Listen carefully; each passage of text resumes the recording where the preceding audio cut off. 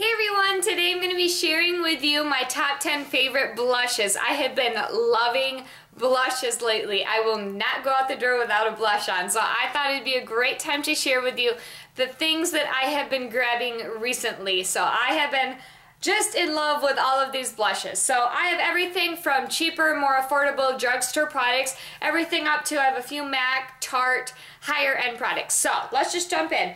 We'll start with some of the more affordable and we'll work our way up to the MAC and the Tarte and that sort of thing. So Ulta. Some of the Ulta products are hit and miss, I will say that, but they're cheap colors. The ones that look like this, they're they're quite small. They look just like their eyeshadows, but it'll say cheek color right on the front. I have found they have great color payoff, love them. I have a few of these, but Afterglow, which is this one, is one of my absolute favorites. And I'm going to hold it a little bit on a side because you'll see the color more true. It's a little bit darker of a pink, and it's got a very subtle orange shimmer in it, but I found once you have it on your skin, you don't even notice that. So this is Afterglow from Ulta. Such a pretty color. I think this would look really great on any skin tone, really. It's not too dark, not too light really not a whole lot of shimmer, but it does have a great payoff for being an Ulta product and it's being and it's quite affordable. So that's number one.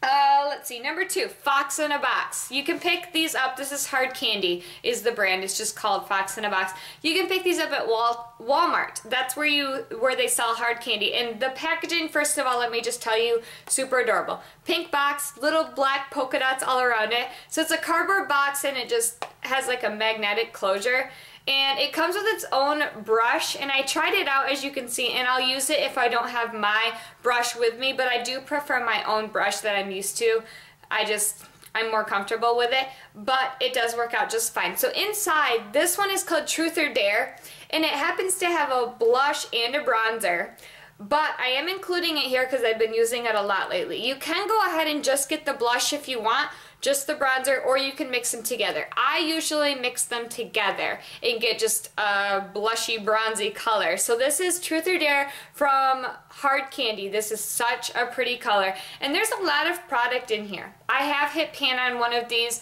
a while back and it took me a long time. These go down pretty far. So this is a really affordable, I want to say these are $6. Uh, yeah, they're $6. So that's pretty affordable for how much product you get. And they have, I want to say five or six different Fox in a box, little boxes like this, different colors. So that's a really fun product to get. Next are two NYX products. I am always talking about NYX products, how much I love them. They've never let me down. So I have the Mosaic Powder. This is called Paradise. And these are fun because they have the four shades of pink and then just like a cream color on the inside. And these are meant to be swirled together to create like a perfect cheek color. Obviously, you're not supposed to pick and get one little color. I guess you could do that if you wanted. But I swirl them all together. And yes, this red one in this specific color, the Paradise one, is a bit dark. And even when you swirl it, it's a bit dark. So you do have to blend really well with this. But the color payoff is great. The lasting power Awesome. And again, NYX has never let me down. So this is Paradise. They do have, I think there's a total of four different shades of the Mosaic powders from NYX. So that is one of my next favorites. And then their stick blushes are amazing. I have just tried this. I think it's been a little over a month now since I purchased this, but I have worn it enough to know I am in love. And I'm going to be pick. I actually have another one. Where's it at? This one that I also have been loving, but this one I decided to show you. This is called Orchid, and it's just a really orangey, shimmery color. I don't know if I, I want to swatch this one. I don't know. It's got a very, it's very pigmented, and a lot of the more creamy blushes are. You just have to blend it out, but because it's a creamy consistency, not just a powder, it is going to soak into your skin kind of like a foundation would or concealer, and it is going to last you all day. I am telling you, these stick blushes last forever. They're pretty affordable.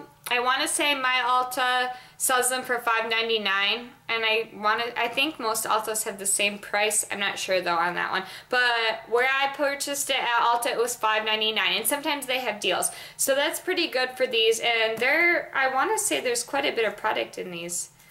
I want yeah you get quite a bit in here this should last me a long time you don't need a lot obviously because of how pigmented they are Next, I have a Milani Baked Blush. I'm not sure if this is from their new collection or not because I have some new, some old, but this is called Rose d'Oro. And this is super fun because it's kind of that swirly, I don't know what they call this. There's a name that they call it when it looks like this. But it's got the reds, the pinks, the golden colors, and a very subtle shimmer to it. But I am wearing this today. I wanted you to see this one because this has been one of my absolute favorites lately. And it does have a mirror on the bottom and a little brush, but as you can see, I've never even used the brush because I do, like I said, prefer my own brush um, for using my blush. So this is just absolutely amazing. Milani is a great brand. Definitely love their baked blushes.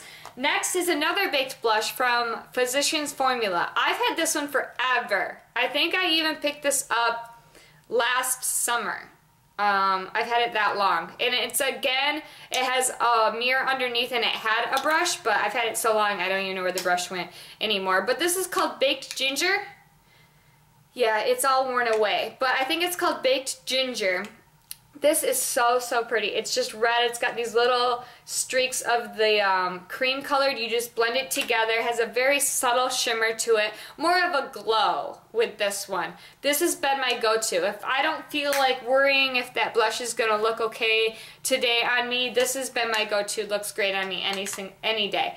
Next, I have Hot Mama from The Balm. The Balm has been like exploding recently on YouTube. Before it was a little bit more hush hush, no one really knew about The Balm, I guess. I don't know.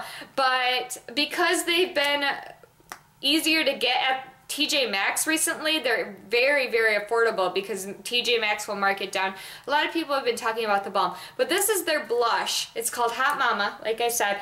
So, so pretty. Just a really orangey pink color. Definitely has some orange tones in this one. So pretty. Not too dark, but it is going to have that pigment to it. Um, that's going to last all day. It does come with a little mirror in it. Again, has the magnet closure. I don't know. I think this is the only blush that the Balm makes, Hot Mama. Let me know in the comments below if you own another blush by the Balm that is not Hot Mama because I'd be interested in knowing because I do love the Balm. Next, I have MAC. And I do have two. I couldn't decide between these two. So I just went ahead and showed you them both. But they're both kind of on two ends of the spectrum. This one is a very pink color. This is called Well Dressed. And everyone, I feel like everyone talks about this one. But the reason why is because it really is amazing. It's a very light pink color. Extremely light. When I first saw it, I thought it wasn't going to show up on my cheeks. It is so light, but it is so pretty. It is going to show up on your cheeks. You, you may have to apply two coats where you might not usually have to do that with another blush, but it's such a nice light pink color. Perfect for, I say when you're going maybe to a wedding, you just want a nice pinky color, nothing too dramatic or dark. Well Dressed is the blush for that sort of event and I've been loving it. And next is Sunbasque. I believe. This is one of their sheer tone shimmer blushes, so it does have a shimmer to it, and it's a little bit darker. It's more on the brown. It has brown tones in it, bronzy tones, and a little bit of shimmer, but it is technically one of their blushes, and I do wear it on the apples of my cheeks where I wear my blushes, and it is so pretty. It isn't that dark. The payoff isn't that dark, as long as you don't cake it on, obviously. So I have been loving this Sunbasque by MAC, one of my absolute favorites from their Sheer Tone Shimmer line. I have a couple of these that I love, so that is one of my favorites. And then my last favorite is the Tarte Amazonian Clay 12 Hour Blush. And this is Glisten. And I recently asked in a video if they had others that didn't have shimmer in it because I really didn't know this was my first one and Dollface there's other ones but Dollface doesn't and I looked at it last time I was at Ulta and that's gonna be my next that's on my want list so I think I'll be getting Dollface next but I have Glisten right now and I have been loving it. it has a great 12 hour stay like the name says so so pretty this one again has a little bit of shimmer but it's meant to certain ones do certain ones don't Love the payoff on it. Definitely has that, it's the Amazonian clay. I definitely notice a different texture to it compared to other blushes. Definitely recommend the Tarte Amazonian clay blushes. There's, I want to say there's 8 to 10. Don't quote me on that. There's quite a few different color choices, all different things from light to darker colors. So definitely try out one of these if you have not. Go into your local Ulta or Sephora and look at these and possibly try one of those out. I definitely recommend them. So those are my top 10 favorite blushes that I've been loving this spring and probably will definitely into the summer. So let me know in the comments below any of your favorite blushes or if you have a video up with your favorite blushes, leave it as a response and I will definitely love to watch it. So I will see you all very soon in my next video. Bye guys!